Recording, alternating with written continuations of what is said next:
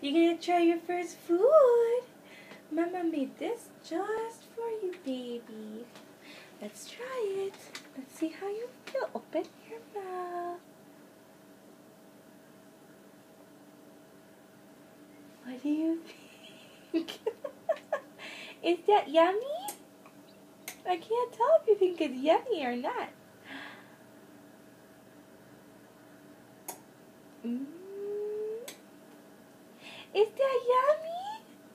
Huh? Oh, I think you like it.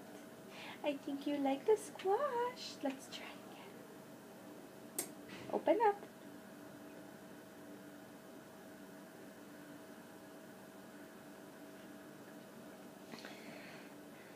I'm using this baby bullet. Um, I use a baby bullet to make this homemade squash. It's butternut squash. And I think he likes it. Yeah. Yeah. Mm, that's a big bite. That's a big bite. Do you like it? I can't tell. Well, I guess he's eating it, so he must like it. Um, so what I did, it's super easy. I actually followed uh, a recipe, even though you don't really need to.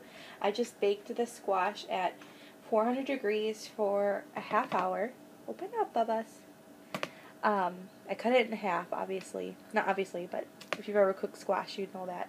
400 degrees, um, 30 minutes, and then I used one half to make his food, and I got about six of these um, containers worth, and this one's um, about the size of all of them. So they were like not even half full. Like, well, I suppose they're about half full.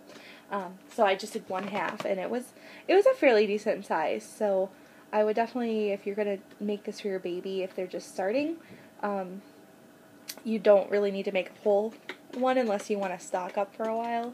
But yeah. Do you like it, baby? I think you like it. Open up.